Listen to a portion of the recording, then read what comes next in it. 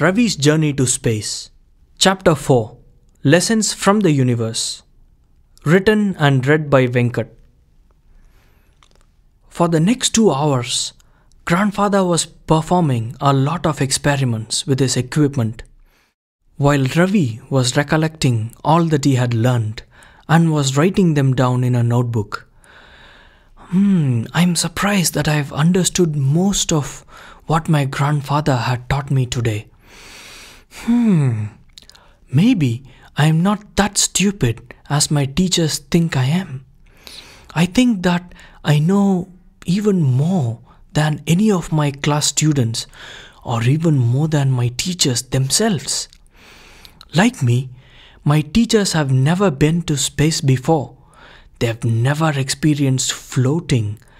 And and also they have never seen such multitude of stars, have they? Hmm. Now that I have more experience than them, so in a way I am better than them. Ravi's heart was getting filled with pride.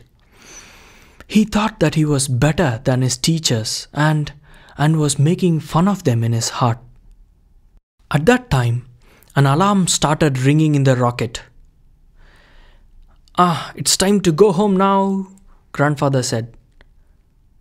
It will take us a few hours to reach the earth, and your grandmother will be waiting for us, so we should be very quick, grandfather said. Yes, grandfather, even I feel a bit hungry, Ravi said.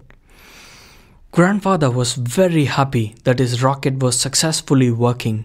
He went back to his seat, busy operating buttons and levers. Ravi, get back to your seat, grandfather said. Ravi went back floating to his seat and continued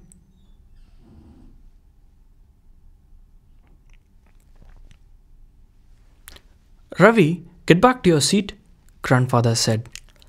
Ravi went back floating to his seat and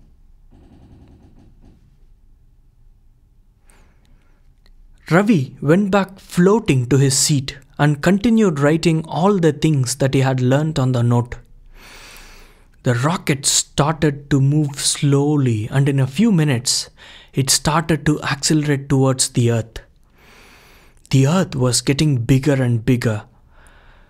Grandfather, I have one last question, Ravi said. Um, what have you learned from the universe? Well, Ravi, I have learnt humility, grandfather said. What do you mean? Ravi asked. Ravi, it is very important for you to know this. And it's very good that you asked this question to me. Humility, my dear boy, is the greatest lesson the universe teaches us, grandfather said. How? Ravi asked. Ravi, look how small the earth and the sun are compared to the universe. Whereas we humans are often consumed by an illusion of great self importance, we look down at other living beings and think that we are very special creatures. But when I look at the universe, it is obvious that we human beings are unquestionably insignificant in universe or its functioning grandfather continued look at the earth from here we see no countries not any people no indians no africans no islam no americans no christianity no buddhism no politicians no geniuses or or any stupid people I neither see any great emperors, not any cowards. The only thing I see is a small blue planet. From here, all the people are the same, belonging to one human family. Grandfather looked at the earth and seemed to be in serious contemplation as he said, It is disappointing it is very disappointing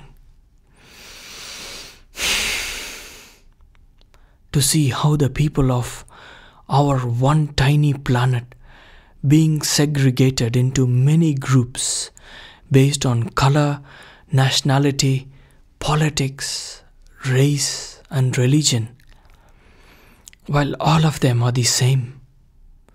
They misunderstand each other, fight, wish to dominate and, and even kill each other. Whereas we are all the same children of this one tiny planet, lost in the realms of this vast universe. Can you can you explain me more? Ravi asked. Ravi, look at the earth. From here, can you see the whole earth as one single organism? It is essential for us all to recognize that an organism that is in war with itself is doomed, grandfather said. Ravi listened very attentively to his grandfather. He felt as if grandfather was shaking the foundations of Ravi's assumed pride.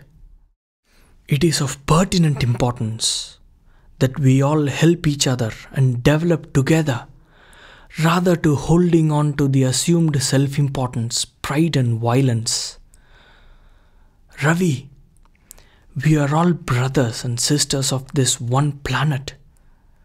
There is no one bigger or smaller than each other, grandfather said. Oh no. I have made a big mistake in, in thinking that I'm better than others. Ravi thought to himself, putting his head down.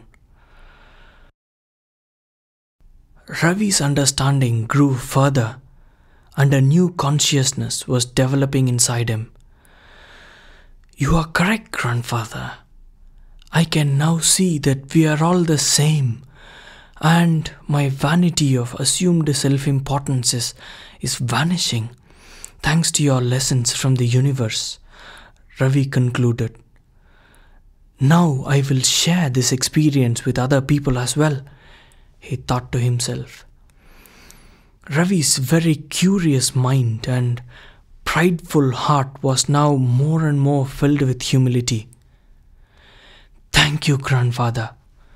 Ravi hugged his grandfather tight. Grandfather was clearly moved by Ravi's hug.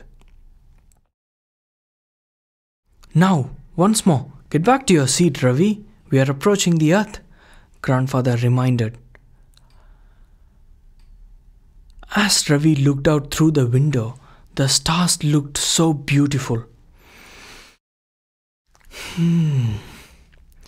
Just like me looking out into the space, I wonder if someone else from another planet might be looking out and, and wondering if I existed or not.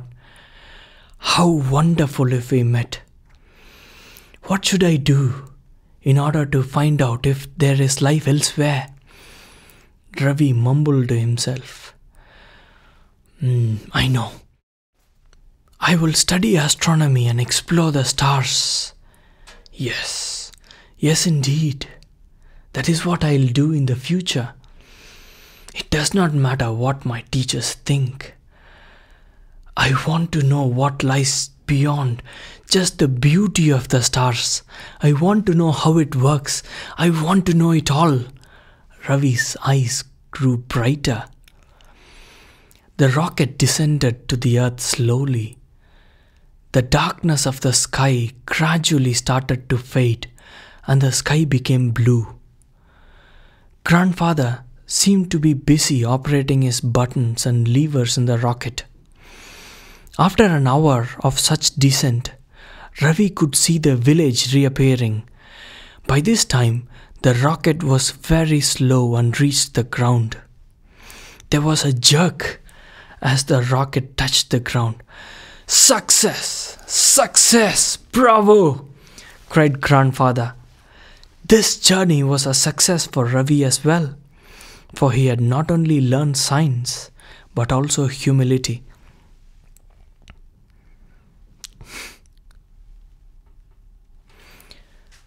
Come, Ravi, let us go home.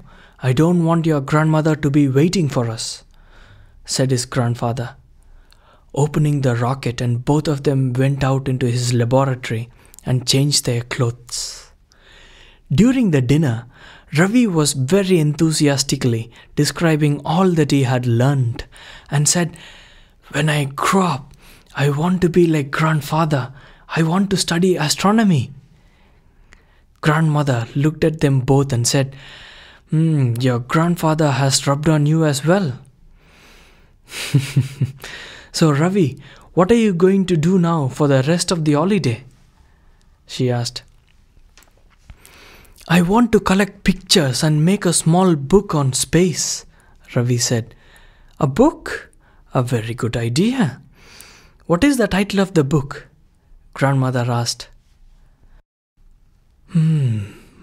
Ravi paused for a minute, thoughtfully, and he said, Hmm, the title of the book would be Secrets of Space.